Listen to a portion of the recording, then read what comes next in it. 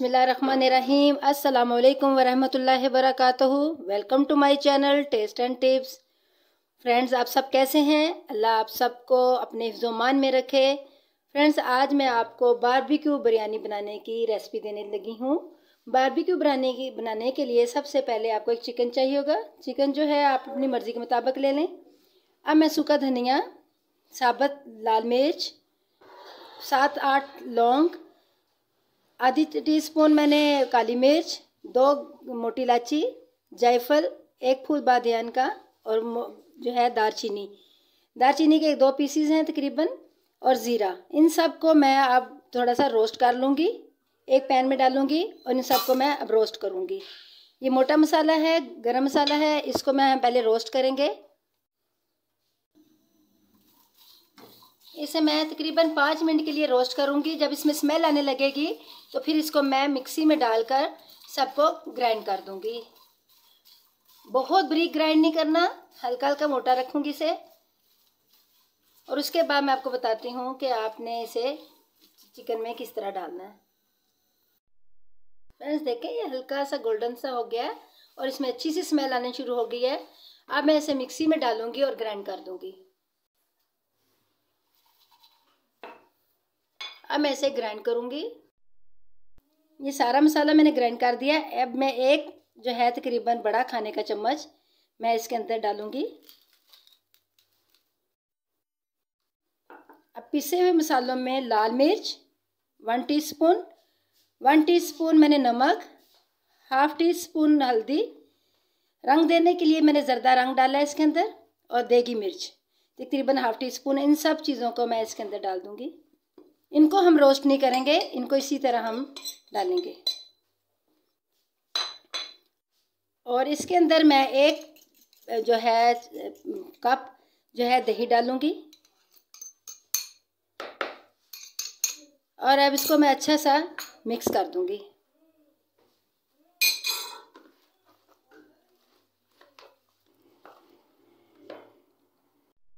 सबको इसमें लहसुन पाउडर हाफ़ टी स्पून और अदरक पाउडर हाफ़ टी स्पून वो भी मैं डाल दूँगी।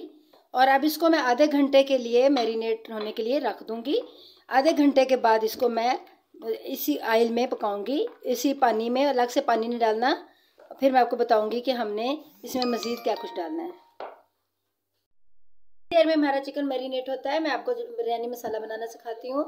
हाफ़ कप से ज़्यादा है ये कुकिंग ऑयल बड़े बर्तन में कुकिंग ऑयल डालें और इसमें तेज़ पत्ता है, इसको डाल के मैं थोड़ा सा कड़कड़ाऊँगी। इसके अंदर मैं चार तकरीबन दरमियाने साइज़ के प्याज थे, उनको मैंने काटा है और इसको मैं फ्राई करूँगी। ये गोल्डन होने तक इसको मैं फ्राई करूँगी। प्याज गोल्डन हो चुके हैं, अब इसके अंदर मैं एक खाने का चम्मच लहसुन का पेस्ट और एक से खाने का चम्मच तकरीबन अदरक का पेस्ट डालूँगी। और अब इसको मैं अच्छा सा हल्का सा भूनूँगी। बहुत ज़्यादा नहीं भूनना, क्योंकि प्याज ऑलरेडी ब्राउन हो चुके हैं।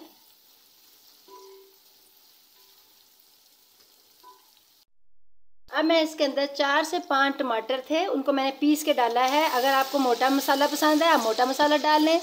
मुझे पीसा हुआ मसाला पसंद है, इसलिए मैं इसके अंदर पीस के डाला है। टमाटर को पानी खुशा करूँगी इसका।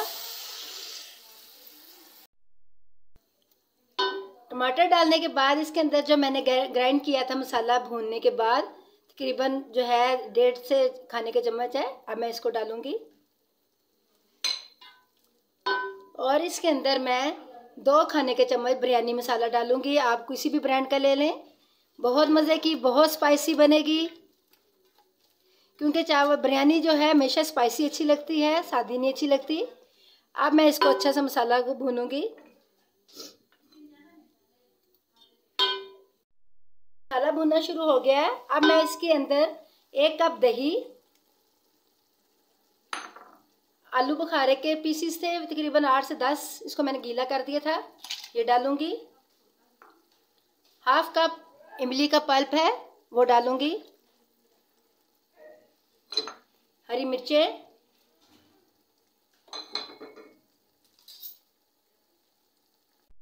के चम्मच मैं नमक डालूँगी क्योंकि चावल उबालते वक्त भी मैंने नमक डालना है और आधा चम्मच जो है मैंने जो है ना चिकन में डाल दिया था। ढाई चम्मच हो गए हैं तकरीबन और आल, आल चावलों को उबालते वक्त भी हम नमक डालेंगे। इसलिए नमक का खास ख्याल रखेंगे। मैं तकरीबन साढ़े तीन गिलास चावल बना रही हूँ। तकरीबन आधा घंटा गुजर चुका है। अब मैं इसको फ्राई करूँगी। हल्का सा ऑयल लेंगे। और इसके अंदर मैं सारा चिकन डाल दूँगी।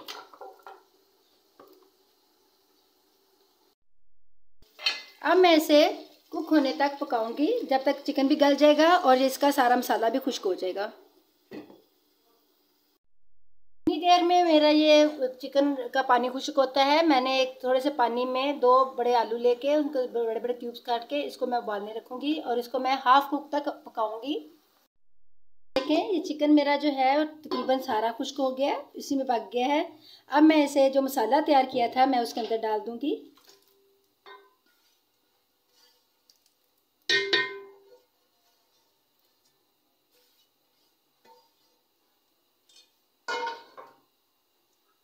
इसमें डालने के बाद मैं इसको अच्छा सा मिक्स करने के मिक्स करूँगी।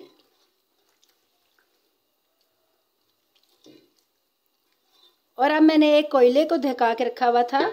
अब मैं उसे कोयले को इसके अंदर रख के इसे बारबेक्यू का टेस्ट दूँगी। मैंने एलुमिनियम फॉयल के साथ इसके अंदर रखा है इसे। अगर आपके पास कोई भी चीज़ है, आप उसके साथ रख लें। और उसके बाद थोड़ा सा इसके ऊपर ऑयल डालूँगी।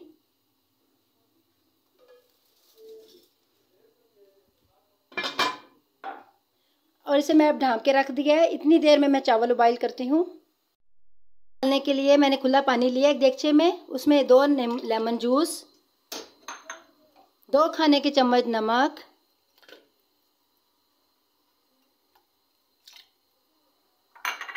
दो हरी मिर्चें और कुछ बादियान की पत्तियाँ।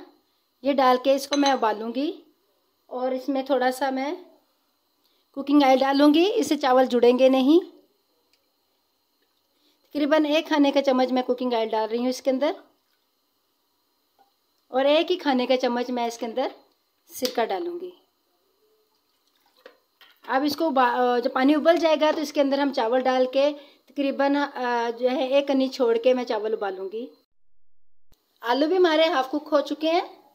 अब इसे मैं स्टेन करने के बाद इसको ज़रदा रंग लगा के फ्राई करूँगी। आलूओं को उबालने के बाद हाफ़ कुक करने के बाद इसे मैंने ज़्यादा रंग लगा के अब मैं इसको फ्राई कर रही हूँ। सिर्फ़ पाँच मिनट के लिए फ्राई करूँगी ताकि ये अच्छे से ऊपर से कुक हो जाए। चावल उबाइल हो चुके हैं। देखें, बहुत मज़े की, बहुत अच्छी खुशबू आ रही है बारबेक्यू इसको मैं अब रिमूव कर दूँगी। अब इसी तरह मसाले में मैं सारे चावल डाल दूँगी ऊपर।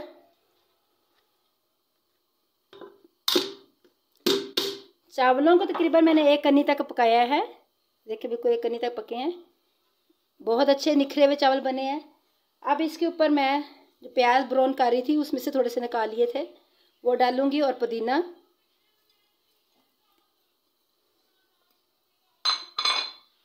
जो आलूओं को हमने हाफ़ कुक करके और फ्राई किया था, इनको डालेंगे। और ज़्यादा रंग जो है मैंने पानी में डिज़ोल्व किया था। अब इसको मैंने थोड़ा थोड़ा करके मुफली जगहों पे डाल दूँगी। और इसे तकरीबन 20 मिनट के लिए मैं दम दे दूँगी। दम देने के बाद मैं आपको दिखाती हूँ कि हमारी बिरयानी कैसी बनी है। देखें, मैंने कपड़े को हल्का सा वेट कर लिया था और इस कपड़े पे जो बर्तन रखने पे लगाने के बाद इसको मैं अब तवे, नीचे तवा रख के इसको 20 मिनट के लिए दम लगाऊँगी। अब दस मिनट गुजर गए हैं दम को। अब मैं तकरीबन सारी बिरयानी को एक थोड़ा सा मिक्स कर दूँगी, ताकि ये नीचे से भी अच्छे से चावल जो ऊपर हैं वो नीचे चले जाएँ और अच्छे से कुक हो जाएँ। बहुत मज़े की खुशबू आ रही है, बहुत मज़े की बनेगी। इंशाल्लाह जब आप बनाएँगे, आपके मुँह से भी ये निकलेंगी, निकलेगा कि वाह कितने मज़े की बिरयानी बनी है।